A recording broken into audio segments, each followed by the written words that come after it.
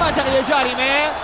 پرسپولیس بازی رو تهاجمی شروع کرده اما فجیعات از حملات خطرناک هستند. بازم موقع داره رضا خالقی فر. می‌تونه تک به تک بشه. خالقی فر نگاه می‌کنه منطقه جریمه. تهماسبی و واکنش و اعلام پنالتی.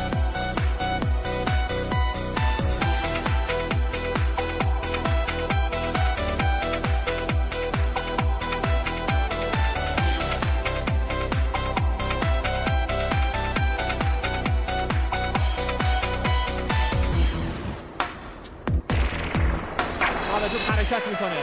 می‌تونه ارسال بکنه. این کار انجام میده. روی تئودور کلیلی و توی دروازه گل برای پرسپولیس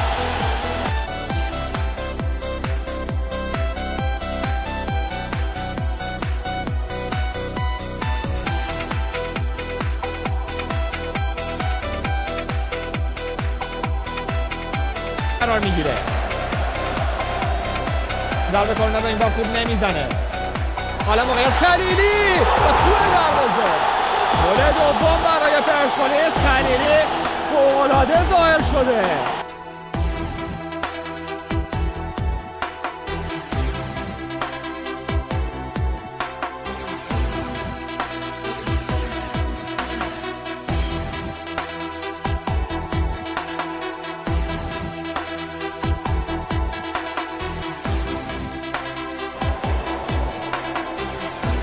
پشت منطقه. دوباره باقری و پای چپ. مکانی فرصت. توی دروازه گل سوم برای تیم پرسپولیس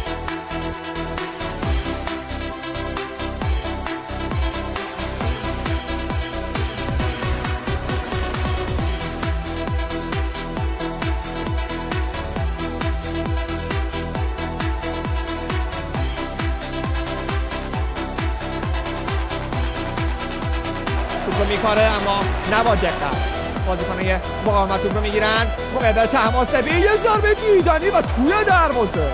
توی دروازه. یه گل دیدنی از تماسبی.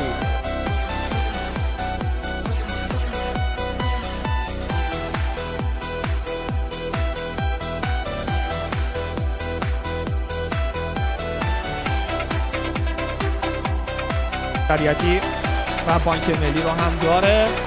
یه ارسال بلند. تحماسبی توی دروازه.